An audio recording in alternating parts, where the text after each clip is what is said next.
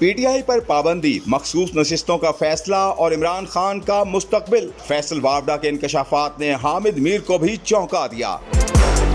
एक निजी चैनल के प्रोग्राम में सीनियर सहाफी हामिद मीर ने सेनेटर फैसल वावडा से सवाल किया, आपको लगता है कि सुप्रीम कोर्ट के फैसले के बाद पीटीआई को अब मखसूस नशिस्तें मिल जाएँगी? फैसल वावडा ने जवाब दिया कि पहली बात तो यह है कि सुप्रीम कोर्ट की तरफ़ से मखसूस नशिस्तों का फैसला आने के बाद से पीटीआई फिर एक नौ मई की डगर पर चल पड़ी है। दूसरी बात यह है की सुप्रीम कोर्ट का जो फैसला आया है, वो एप्लीकेबल नहीं लग रहा, क्यूँकी आयन में तीन दिन लिखा है फ्लोर क्रॉसिंग की इजाज़त नहीं दी हुई। तशरी आई है पंद्रह दिन की और फ्लोर क्रॉसिंग की इजाज़त भी दे दी गई है तो आइन को अमेंड करना हमारा काम है, यानी पार्लियामेंट का। सुप्रीम कोर्ट का काम है तशरी करना। इसलिए इस मामले में तो कंफ्यूजन पैदा हो गई है। और मैं आपको बता रहा हूँ पार्लियामेंट उस पर अमल नहीं करेगी।